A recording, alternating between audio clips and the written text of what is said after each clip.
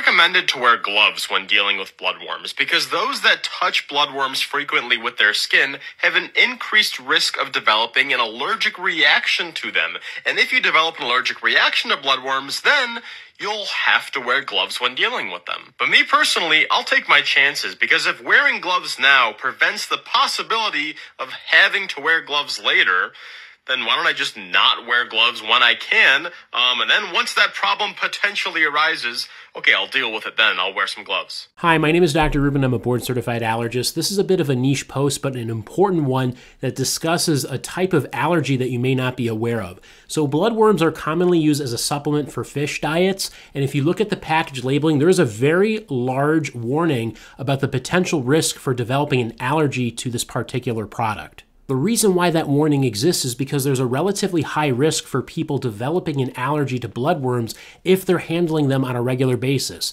This paper that was published in the early 90s looked at over 600 individuals who regularly work with bloodworms, whether they work at a fish shop or they work with fish in other capacities like in an aquarium, and 20% of those individuals were sensitized to a particular protein called ChI-T1, which is shorthand for Chironomus thummi 1 meaning it was the first protein identified that people could be allergic to that are found in bloodworms.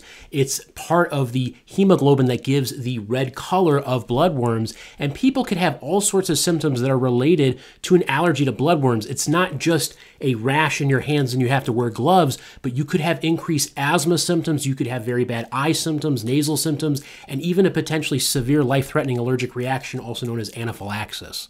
Therefore, if you regularly work with bloodworms, then you should be wearing not only gloves, but a mask and eye protection as well in order to reduce your chances of becoming sensitized to them. Because once that happens, you really should not be handling bloodworms ever again.